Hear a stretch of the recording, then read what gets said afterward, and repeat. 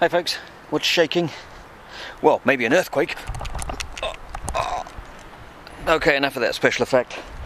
You see, if you upload shaky video like that, YouTube says, do you want me to fix that shaking? no, thank you. Anyway, I've been thinking about earthquakes lately because California's been getting a bunch. Southern California's had a bit of an earthquake swarm lately. Hundreds of earthquakes in the last few days. South uh, America, well, Central America has had a few too and Chile, a couple of so all up and down my lovely coast here. Uh, I think about these things since um, since the really big one in uh, 2004 Christmas, the Sumatra quake, uh, and the um, of course the big one that took out Fukushima Daiichi or Daiichi plant. Uh, because I live in Vancouver, out here on the left coast of British Columbia, and just that way a bunch, out west of me, is uh, the Cascadia subduction zone, where the Juan de Fuca plate is plunging under the continent. And it's a bit locked, you know.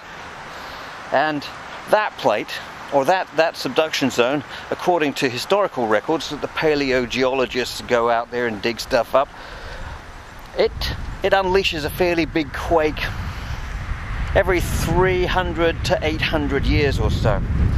The last big one was about 312 years ago, January 26th, 1700 at about 9 p.m.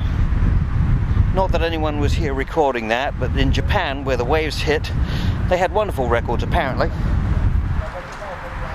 Anyway, we're due.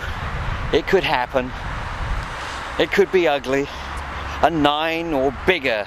That's the sort of magnitude they talk about.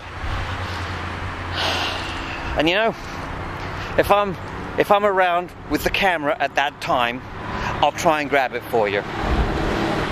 And if I survive, well, the only thing that's going to piss me off is it's probably be weeks and weeks and weeks before the infrastructure's back together so I can upload. anyway, it might not happen in my lifetime. You never can tell with these things. It's a bit of a crapshoot. Still, it's a lovely city while it lasts.